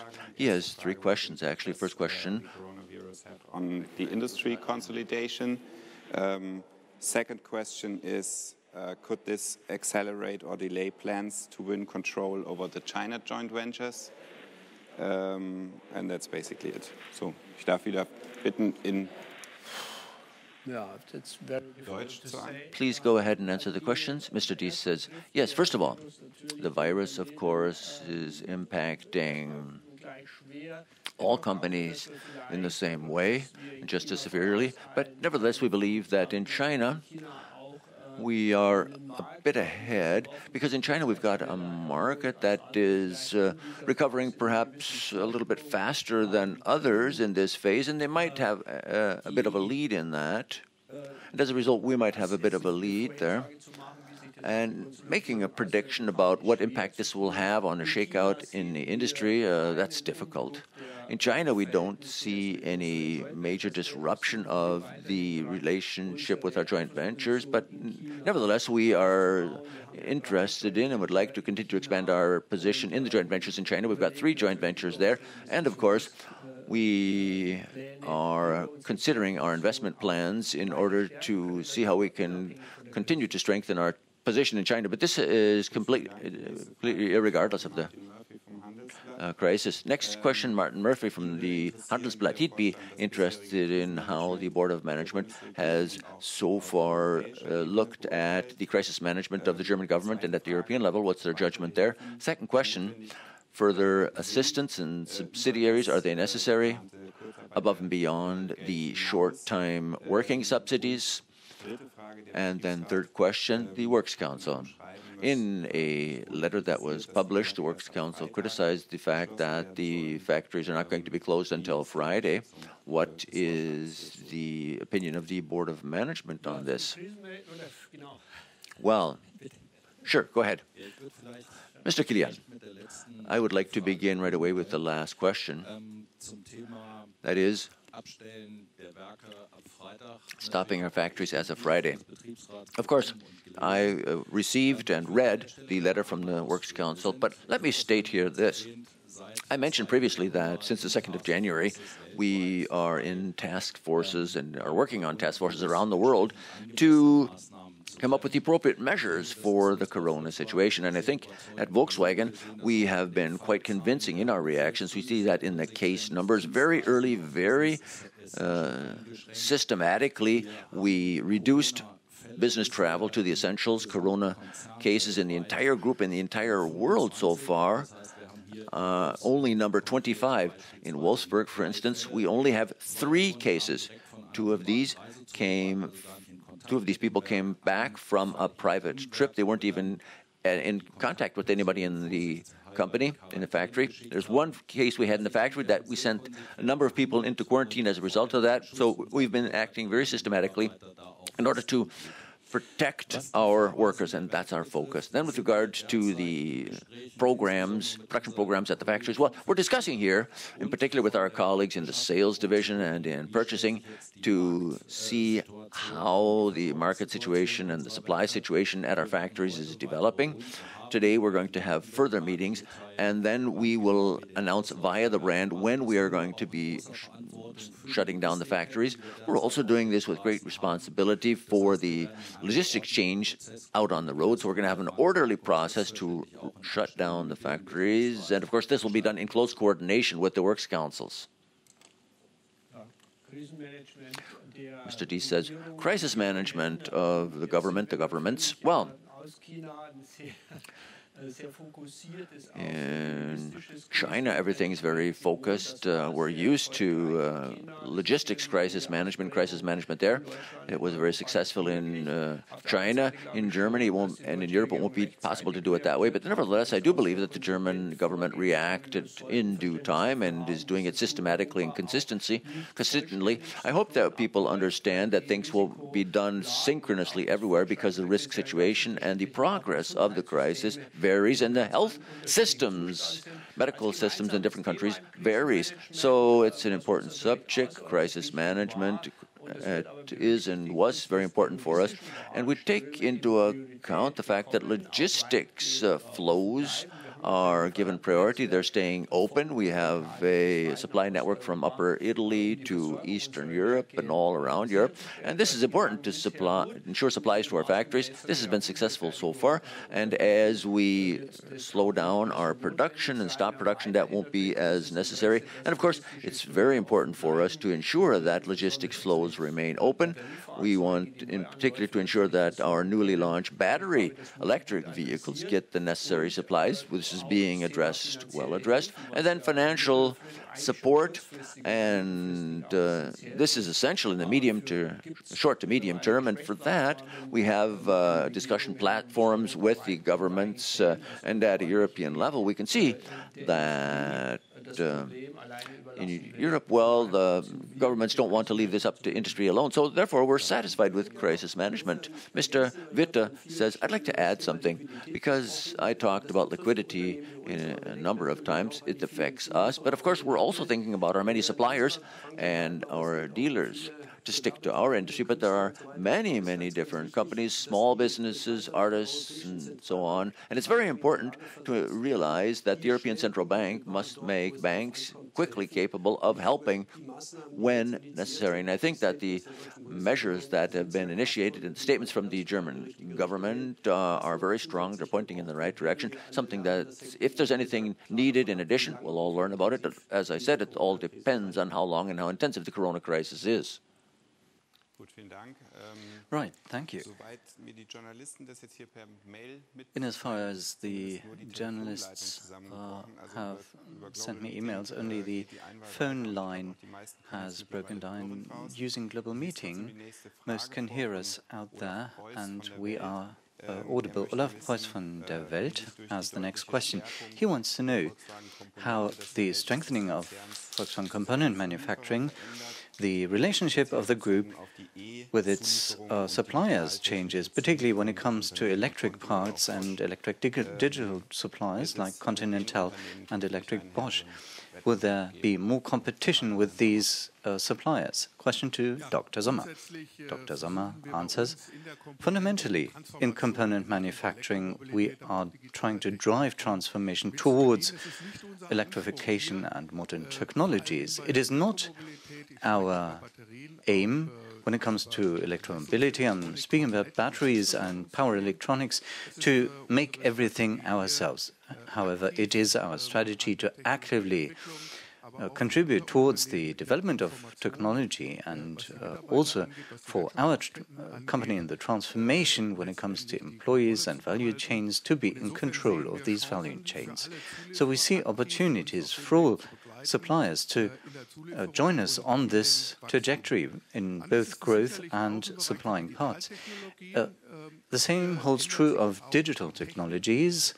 Here, the technology is evolving, and we are having to move towards doing things ourselves. It's not a part of dividing value adding uh, shares, it's developing future data handling functionalities. And here we are in the role as uh, the central architect, the builder. Um, it is not so much the traditional digital technology, but with the new digital technology and interconnectedness, new business fields open up, and the technology companies of all states uh, have the opportunity of evolving with us. Thank you. The next question is from Joe Miller from the Financial Times. He wants to know when it comes to CO2 targets in this company, and this year, next year, whether there are talks underway on industry wide fleet targets with Brussels and what is our estimate will happen when the European automotive market will get impacted by this. Can we will we change our targets? Mr. Diess answers, well, most of all, it's a question of the associations, the VDA, the German motor industry Association will speak here, and then for Asia and uh, worldwide. I can only speak on behalf of Volkswagen. We've committed to keep these targets for 2020. We've got these plans, and from our position, we would not call for an ex for a let up in these targets to become less ambitious. There is a question from Mr. Schweiger from Braunschweiger Zeitung. What is the lesson drawn from Corona in China? Dr. Diess, you mentioned this during your talk. What can we learn from China for Europe? Dr. Diess is taking the question and answers. Well, we have to say that we weren't physically in China, but we had daily contact with our leadership team locally. There are more than 2,000 German executives in China who have uh, experienced how the crisis was dealt with and overcome. We have two targets. Uh, maybe a late reaction, uh, much later than it is here in Europe, but it very um, much focused on containment, on stopping travel, uh, on keeping people within the regions, avoiding the spread, and uh, cleanliness uh, and sanitary measures for the entire uh, population, more distance between people, wear masks, avoid traveling, and to uh, prevent a countrywide spread of the disease. And in a concert with that, to be able to overcome the crisis economically, uh, maintaining the production and logistics chains to keep the economy running, critical components that were needed to overcome the crisis, to deal with the crisis under specific protection measures, but certain logistics and production um, processes were uh, kept running, and as soon as people found that the healthcare system can deal with the crisis and were coming to grips with it, they were uh, refocusing on uh, restarting the economy, coming back to the production plans, and you'll see that in the course of the year, uh, special measures will be taken to uh, um, improve demand and to get the economy up and running again, to make it healthy again. Uh, the crisis management seems very successful from where we stand in China, and so we have hopes that our business in China could wrap up with a uh, quite a satisfactory annual result. I was just informed that the phone lines now have collapsed entirely. So if you have questions, please write me a, an email or an SM, a text message. Then we'll answer them. The next question from Franks Johansen from Leipziger Volkszeitung. He wants to know. His question pertains the ID3. The annual report 2019, only 50 cars were built of that particular model. You're still saying that despite the shutdown in Zwickau, you assume that the ID3 will start to be delivered in summer. Is that a realistic target that can be achieved? That's Mr. Johansen's question. Mr. Diess answers, well, Zwickau is well prepared for this. Mr. Kilian and I had the opportunity last week to uh, uh see what it's like on the ground. Production's well planned. The cars are uh, run through the lines. The quality of the cars has achieved a very good level already. I found it very positive that the team there really uh, is behind this car, loves it, and uh, many cars here around Wolfsburg as well are being tested in Zwickau as well. The software completion rate, of course, requires complex engineering. Many people need to collaborate and jointly uh, drive this forward. Here we have introduced um, a lower number of meetings allowed, of, of, groups that meet physically to deal with faults and bugs and uh, to develop the software. So fewer meetings, but we assume that work can continue so that the ramp up for the ID3 will be running as planning in summer. The factory is really finished and the software will be by ähm, summer. Thank you very much. The next question is from Mr. Seierlein. Ähm, er from Betrieb. Uh, it's a dealership, and how will Volkswagen support its dealerships if they have to shut down because of ähm, Corona? And uh, how the bonus how is that going to be possible if the bonus system is going to be corrected? Mr. Witter answers, and Mr. Witter says, I'll start, and my colleague, Mr. Dan Dama, can maybe complement. Well, liquidity, of course, is of the essence for our dealership organization. Uh, the uh, target payment target due date is uh, being discussed, uh, the extensions of these deadlines, and we have many dealerships, for instance, with Volkswagen Bank, uh, their customers and, of course, will be available to them. Uh, we'll continue that, and that's a clear focus point because that, of course, is an instrumental part of our business model. Whether bonuses will be adjusted for the overall year, that's surely not a discussion on the tops of everyone's minds because nobody has a realistic idea of what normal means and from when we can speak of normal operation uh, in the different countries. Uh, Uh, hardly any customers come in to look at the cars in the showroom, so many of these are shut. And surely we will discuss this in the individual brands when the time is ripe. Christian Dahlheim does not want to comment. I think is quite happy with the answer. Right. So on to the äh, next group of questions. I've got questions from äh, Christiaan Hetzner from Automotive äh, News. And topic one is on the battery cell. LG said um, seems to be responsible for the stop of the Audi e-tron production stop. What are the consequences for procurement and sourcing, and will that accelerate our plans to build another cell factory in addition to Salzgitter, possibly in the city of Emden? The question two is, will Zwickau be able to um, make the 100,000 MEB vehicles as announced this year? On Audi, he wants to know whether we will see a new strategy for Audi under Markus Duesmann compared with May 2019, where Audi, Konsequent Audi, was established by Bram Schot. And why are we paying out a three-digit million amount to uh, repurchase a couple of Audi shares when you already have a control agreement in place and whether that is adequate in view of today's situation. And the last question on the regions will the group achieve the break even and make a profit in the US? Again, I believe in your speech, Dr. Diess, we've answered that question. What are the plans on Audi and on the battery cells? and procurement. Dr. Sommer. Mr. Sommer says, maybe I should begin with the battery cells. For the Audi e-tron, we've got two suppliers. One of them is LG.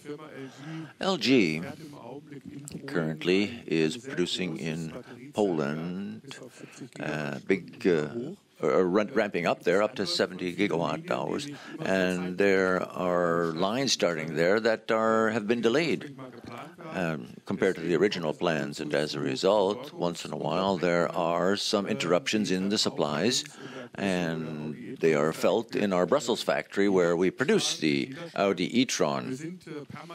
We are in constant uh, contact uh, with LG, uh, working there with them on site to solve the problems to secure the best possible supplies.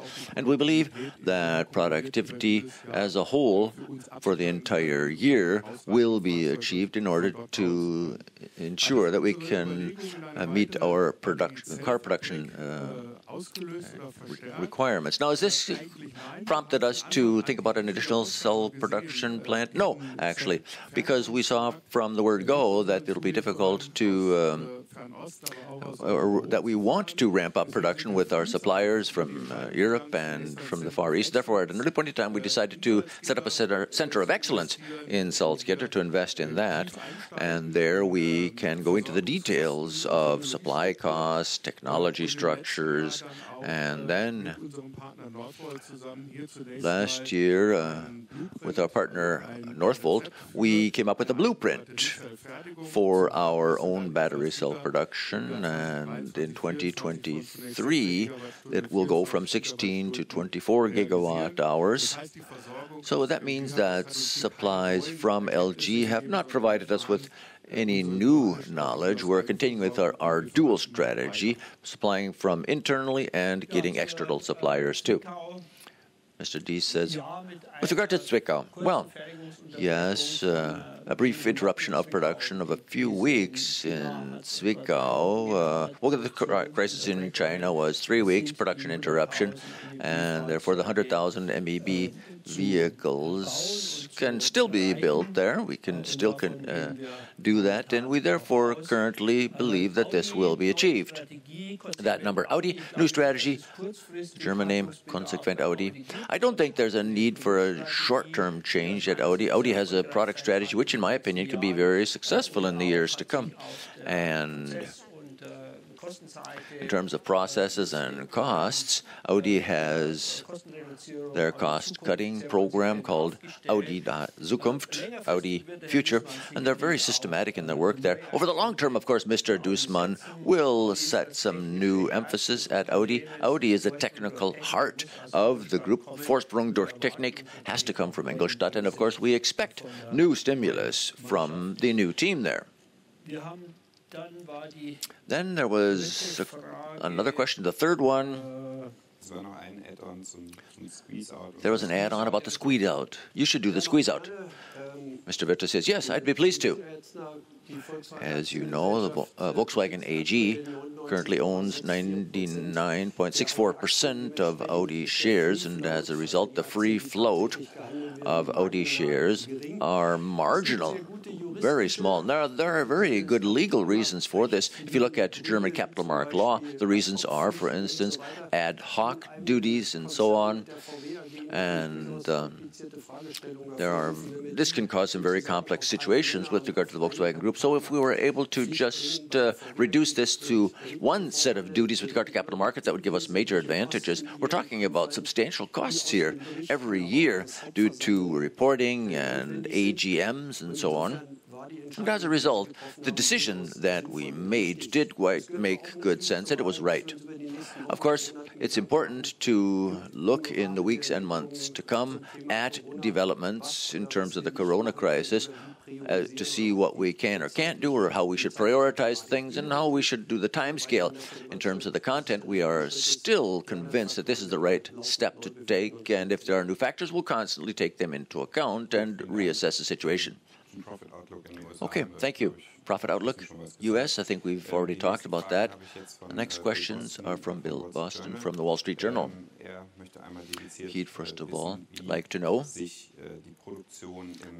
about production in January and February, how that developed, and whether a detailed outlook, at least for the first quarter, could be provided in terms of production, deliveries, and EBIT, and perhaps even the first half of the year, the first six months. And the third group of questions is about cash outflows for acquisitions that have been announced in the outlook, he just wants to understand what was meant there, Navistar, battery capacities, and whether or not the plans are going to be changed in light of the coronavirus and its impact, whether they'll be uh, postponed or whether this is retroactive. And then He'd like to hear about the production stoppage and what this means in particular for the factories in Chattanooga and in Mexico and what it'll mean there in the weeks to come. And then last question, last group of questions are about CO2 compliance, whether or not a postponement of that is going to be uh, implemented in order to allow objectives to be met. Mr. Witter says, I will begin, Mr. Boston.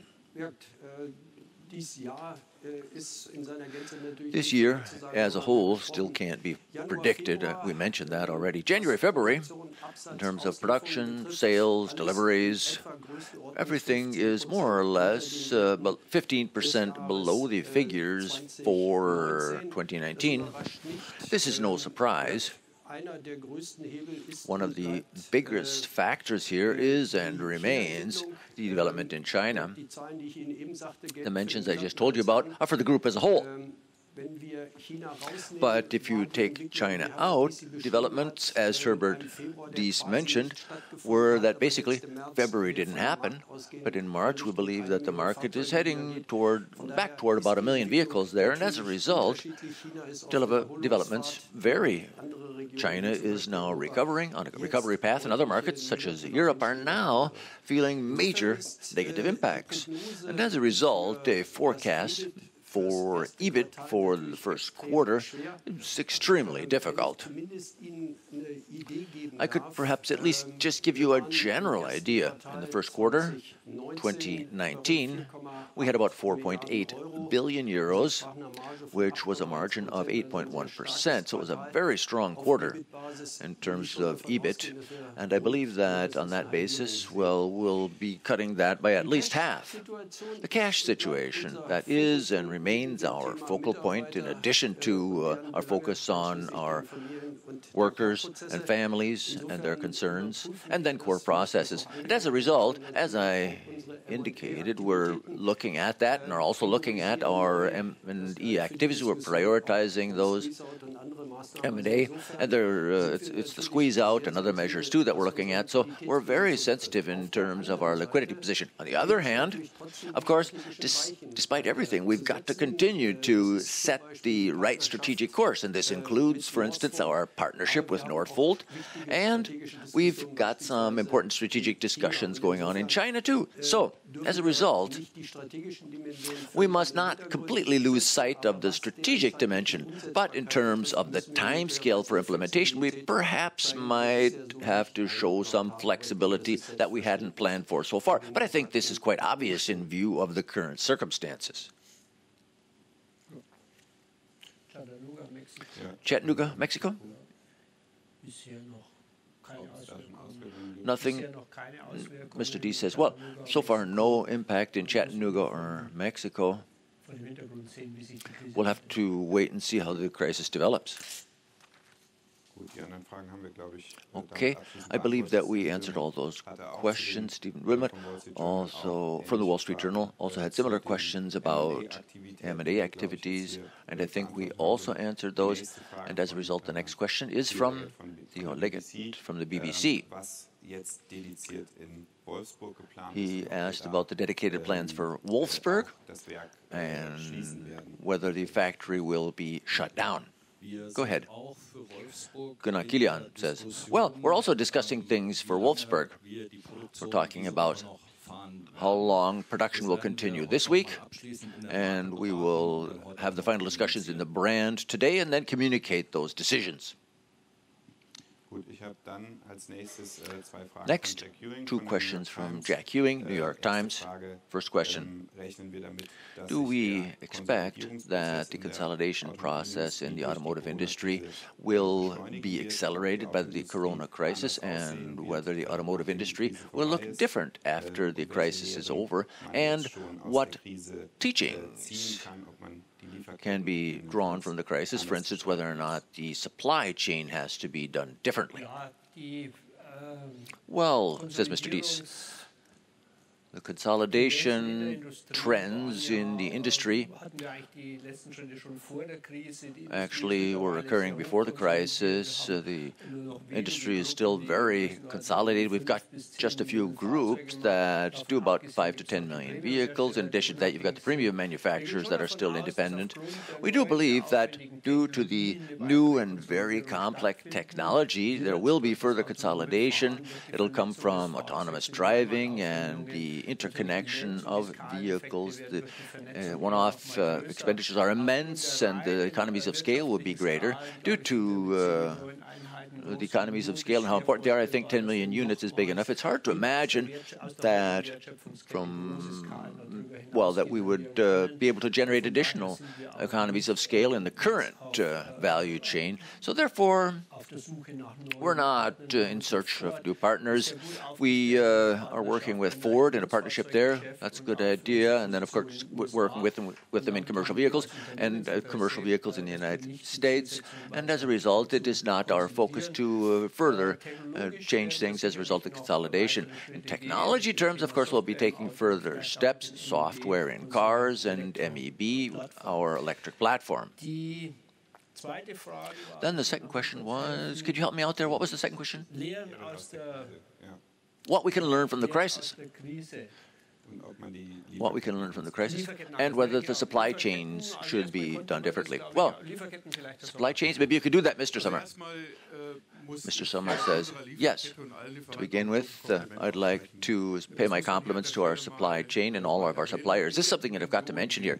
If you look at the uh, production in China and the logistics chain and how it was restricted there, and the same applies to Europe too, of course, a little bit later, together with our purchasing people and our engineering people and this uh, logistics chain. It applies to production uh, and supplies. We've always found a way up to this very day, to come up uh, with approvals for alternative technologies and come up with new logistics channels. And sometimes massive efforts were needed in order to keep up production.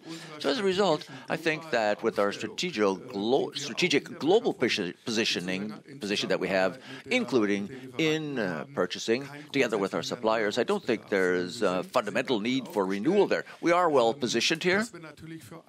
Of course, there's a global pandemic now, and of course, we can't be prepared for that for all eternity. Everyone understands that. So uh, we'll leave it up to our experts to decide what to do in terms of uh, our supplies, and we'll have to look above all to the future to decide what impact that will have, uh, including on our stability, including financial stability of our supply chain. We can't say that yet today, but this is definitely something that we are going to be looking at, analyzing. Our anal analysis capacities and our communication here will be strengthened, but this is something that we can't say yet precisely due to the supply situation.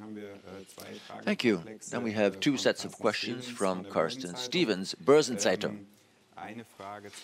One question on the building and the expansion of the software competence. Is there a timeline beyond the target to have 10,000 digital experts by 2025, exceeding that target? What significance would additional purchases and partnerships uh, would have? What is planned in what areas? do we see the biggest gaps? And the second group of questions focuses on the diesel crisis. Question to you, Mr. Witter. What are the charges incurred after the year 2019 as an aggregate total, and what was the cash outflow in 2019, and what do you expect for 2029, 2020, and possibly the following? Dr. Sommer starts answering. May I begin with the software consequence? By 2028, we want to invest 7 billion in our own software competence. The software organization with the associated subsidiaries, we want to create our digital platforms across all brands, brands, developing them there and launching them in the market, of course.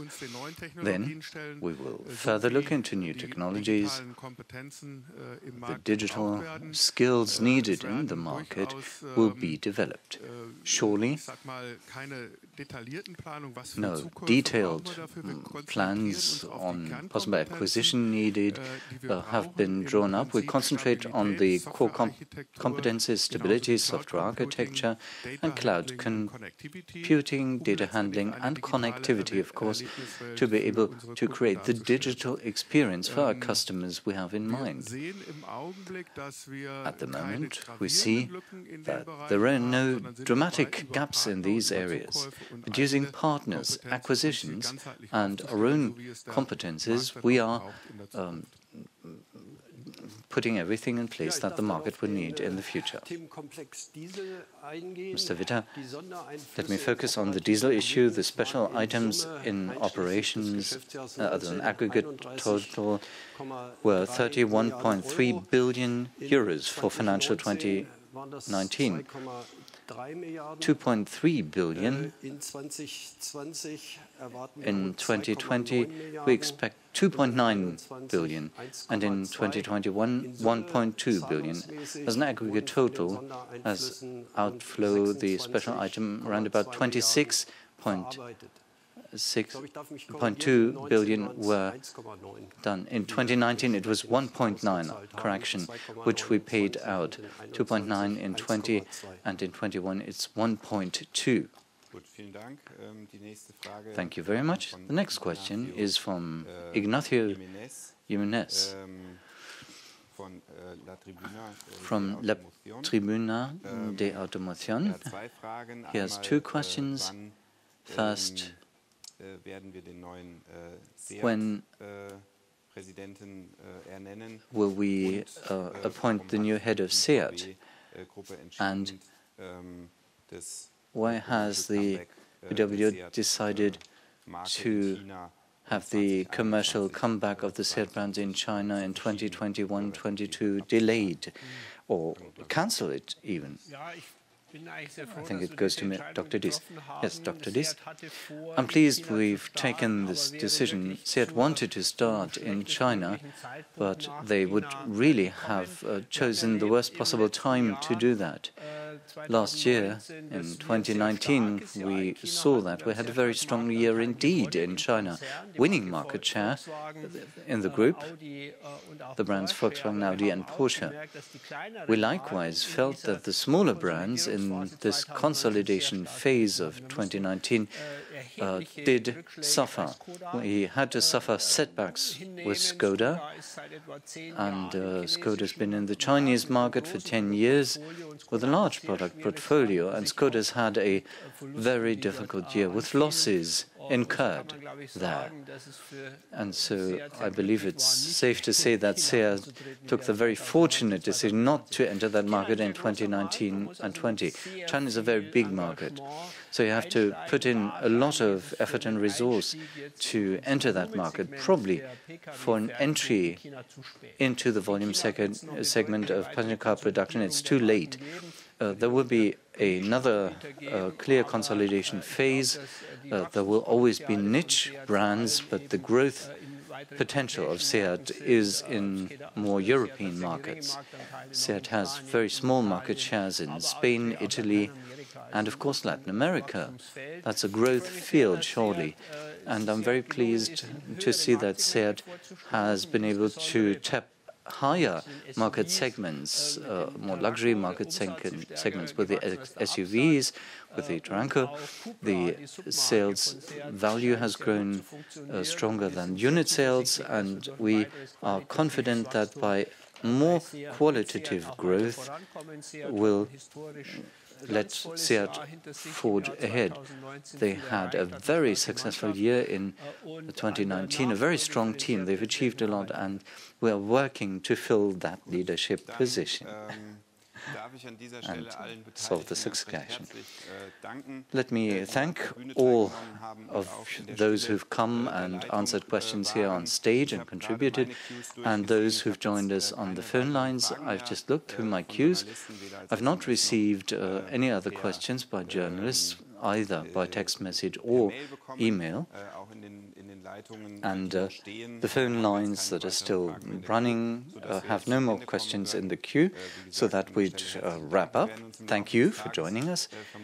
In the course of the day, we'll probably come back with some details on the effects of the shutdowns planned for the individual brands. Mr. Kilian has said we would do that in a well ordered and calm process, and we'll get back to you in the course of the day. And otherwise, the entire department will be available for any questions you might have to take them during the course of the day. In the afternoon, we'll have the analyst call, to which you are most warmly invited to join us on the analyst call when more questions are answered. Thank you.